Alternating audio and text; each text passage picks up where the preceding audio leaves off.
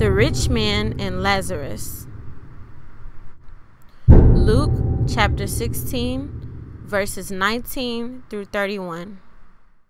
There was a rich man who was dressed in purple and fine linen and lived in luxury every day. At his gate was laid a beggar named Lazarus, covered with sores, and longing to eat what fell from the rich man's table. Even the dogs came and licked his sores. The time came when the beggar died, and the angels carried him to Abraham's side.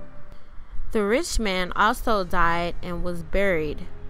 In Hades, where he was in torment, he looked up and saw Abraham far away with Lazarus by his side.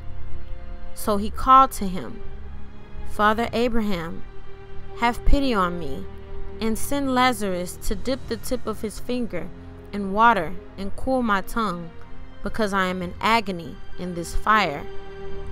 But Abraham replied, Son, remember that in your lifetime you received your good things, while Lazarus received bad things. But now he is comforted here, and you are in agony. And besides all this, between us and you, a great chasm has been set in place, so that those who want to go from here to you cannot, nor can anyone cross over from there to us.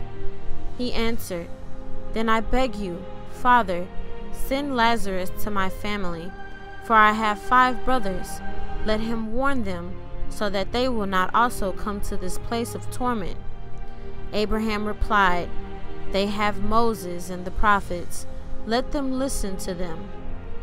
No, Father Abraham, he said, but if someone from the dead goes to them, they will repent.